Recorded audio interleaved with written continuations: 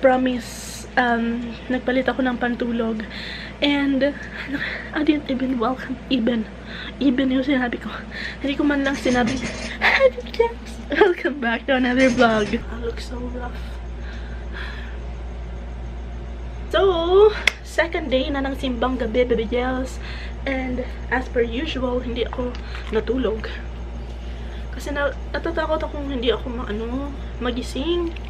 Wow. Grabe yung hindi magising, no? Pero, yun ba, yung hindi ako magising, so hindi ako makapunta ng ano, simbang gabi.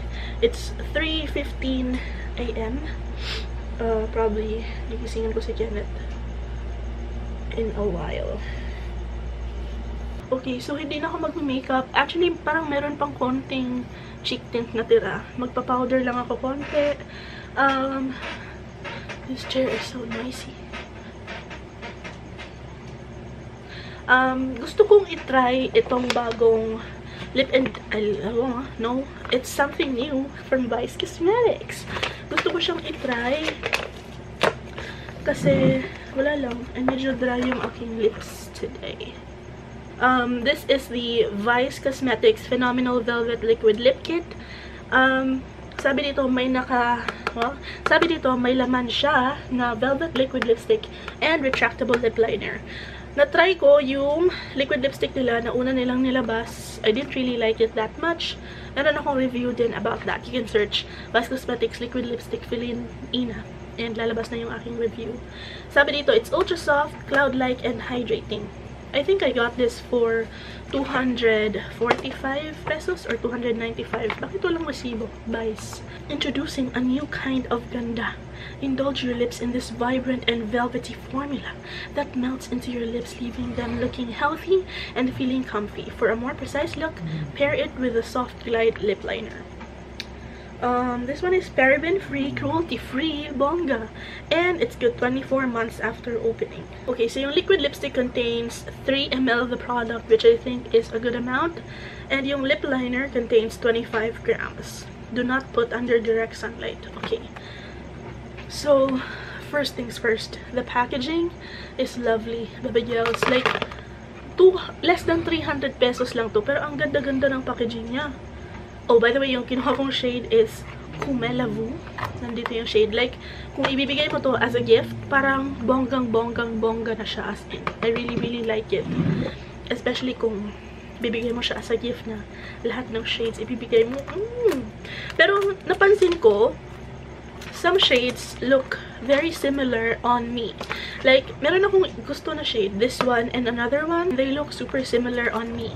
Tapos, parang secured yung products inside. Hindi siya yung maalog-alog ng over. Kasi merong pa ganito, oh. I like the packaging.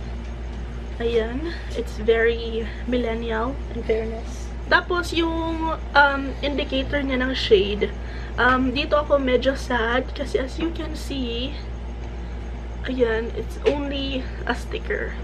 Tapos, hindi pa siya maganda pagka lapat dyan. So, parang matatanggal lang siya. And then, kapag natanggal na siya, parang kailangan ko pa siyang buksan and tignan ko ano yung shade niya para malaman ko kung ito ba yung gusto kong suotin. Wait, gigisingin ko nga si Kenneth kasi maingay siya. Umihilik. Black lang siya, plastic. Tapos this one feels a little bit like metal. Pero parang plastic din siya. And then, yung kaibahan sa noon na lip liner and sa bago is, this one is retractable. So, bongga. Parang natatakot ako. Ganyan yun siya. Pero, okay, madali naman siyang sumulat. In fairness, try natin diin na ng konti. Okay, so far, hindi naman siya nababali, thankfully. So, yan yung lip liner ng shade na Kumelavu. Okay. Packaging is also very secure. Like, nagsasnap talaga siya when you close it. See? The liquid lipstick is parang new, newish, newish packaging din siya kasi parang uh, frosted glass yung itsura niya. I like this packaging na frosted glass kasi parang mas social siya tignan. Right, so you get a doe foot applicator. As you can see, wala akong maamoy sa kanya. Parang wala siya masyadong scent. And, iswatch natin siya right here. Okay. So, parang mas dark yung liquid lipstick compared sa lip liner. That's weird. Di ba dapat mas dark yung lip liner compared sa lipstick? Fairness, sa packaging, sa feel ng product, I'm liking it so far. Presyo, gusto ko siya. Availability, I like it as well. So now, let's move on sa pinaka-important na part. Ang application and ang wear test. And kung comfortable ba siya sa lips. Okay. Let's start with the lip liner. In fairness ha, super familiar yung itsura niya. Kasi meron ako nitong mga EB matte lip liners. And it looks so freaking, so freaking similar. Like even the tip. Parang same manufacturer lang sila. So far, madali naman siya sumulat sa lips.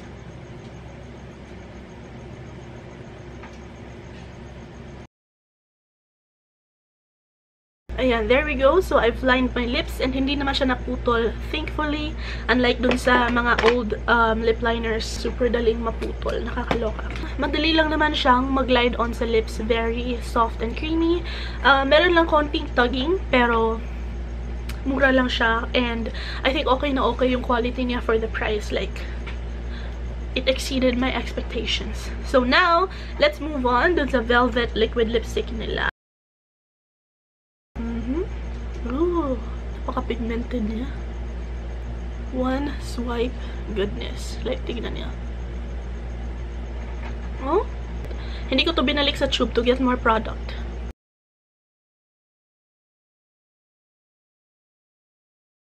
parang I feel the need to go over the lip liner kasi iba yung kulay niya sa lipstick, mas light.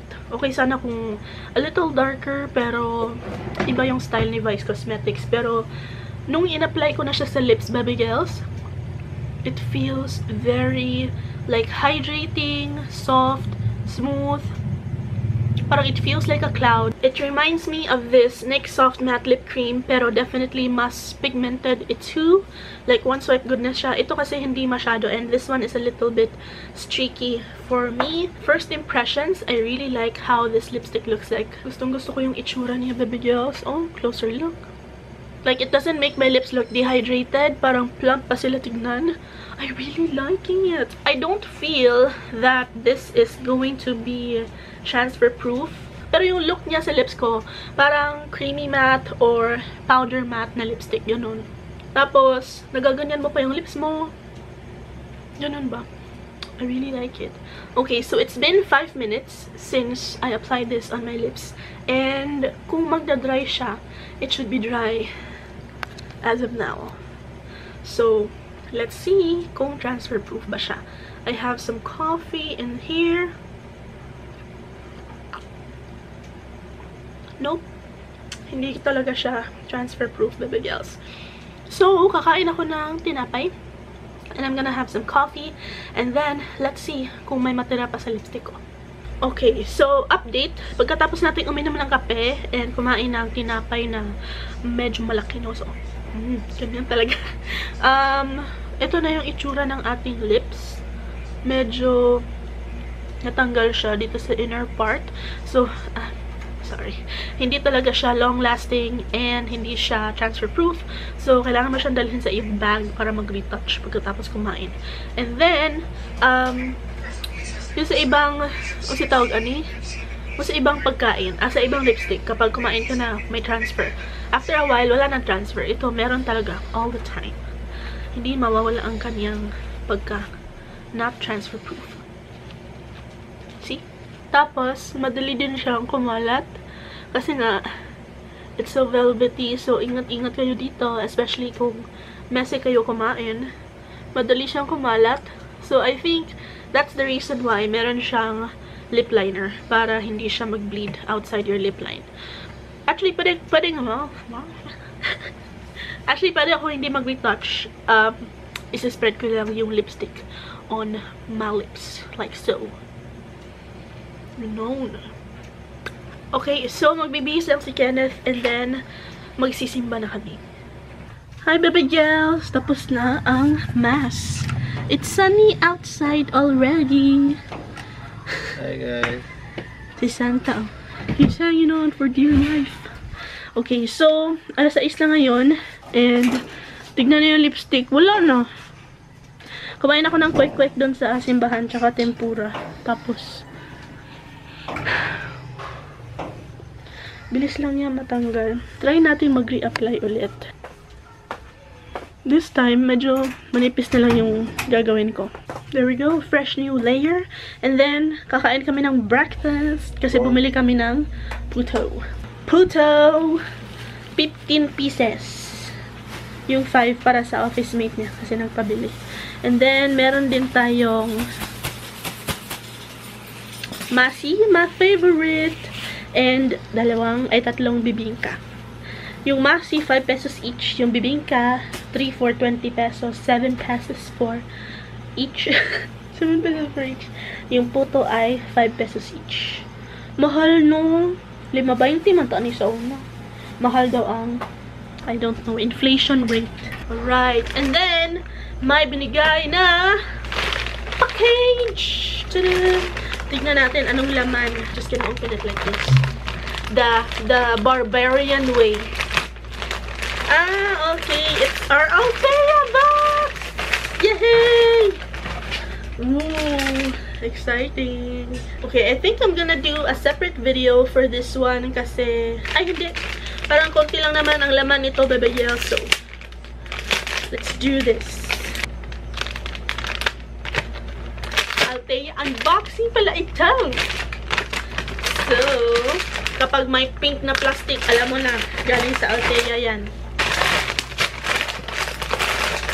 Yan. Yay! Here it is. Ooh, kayo una makakakita anong laman. Anong laman? Okay. Merong pa-card muna. Ayan siya. so exciting. Okay. So, inside, nakikita ko merong dalawang things inside. Ayan. Okay. Let's open it up. Two things, pero I'm so excited kasi parang pabango siya, no? And you know, I love pabango. Yee! Exciting, baby Gels! Nakakalag. Let's see what we got. First, let's do the perfume. Kasi, you know, I love mga pabango. I love perfumes. So, this one is the Stay Fresh Body Sparkling Mist by TT Kamal. Kilala niyo ba siya? Sikat siya na ano eh, na um, celebrity sa Indonesia. So, bongga to! Binigyan nila kami nitong kanilang collaboration na fragrance with TT Kamal. Buksan natin siya. Ooh, I'm excited! Sa packaging, makikita mo na parang floral scent siya. Stay Fresh Body Sparkling Mist. This one contains 100 ml and it's good 12 months after opening. Oh, it smells so fresh! Parang bagong ligo lang yung smell niya. Bango! I love it. Okay, so this is gonna be my new everyday scent. Yeah, I don't really see that much glitter. So that's good. Hindi chunky yung kanyang glitter. Hindi siya yung obnoxious na floral scent. Kasi hindi din ako mahilig sa mga ganun yung parang over-over na floral. Ito, tamang-tama lang. Pa-sweet, pa-virgin na floral scent. Ang bango niya. Perfect for the daytime. I love it. Yes. Thank you so much, Althea Korea. Next up, we have dun, dun, dun, this one right here. This is the Pore Purifying Serum Cleanser. pH balancing, mint extract, pore care, and deep cleansing. 150 ml ang laman nito. I need to check sa Althea website kung para saan ito. Pero it looks like this. Ayan, as you can see. Ayan siya. Ooh, pero parang toner yung itsura niya. I don't know. Tingnan natin sa website nila. I'm very happy about these items, baby girls. And also, mag-update ako about this lipstick later na lang din. I think itong vlog natin is medyo mahaba na siya. Nakakaloka. And again, ito ang nangyari. Wala na naman siya. Ang bilis matanggal. Ba't ganun? Ang bilis niya matanggal. Siguro kasi mahilig ako maganin. Akong lipstick ba? Balik yung mga tong-tong. Siguro, you can use the lip liner all over your lips. Tapos, patungan mo siya ng lipstick. I don't know. But sad. Hindi ako uminom, hindi ako kumain. Pero siguro hindi lang talaga siya long lasting. Ayun. Anyway, kumakain na si Kenneth na aming breakfast. Makakatulog na ako later. So, ayun. Baboo! Ay, oh. Hi, Babagels! It's the next day. Ingay nung fan.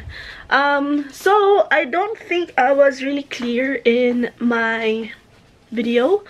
Gusto ko lang i-clear up na I did not like this new...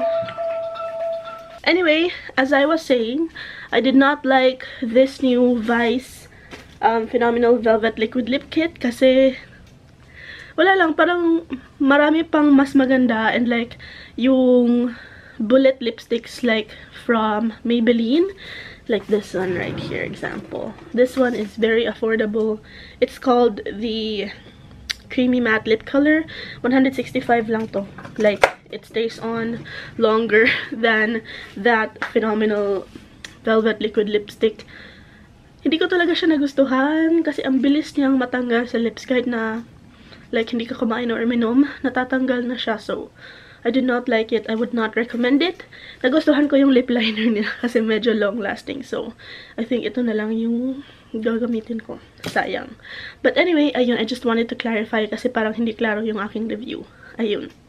So, that's it for today's vlog. I hope you enjoyed watching and hope to see you in the next one. Baboo!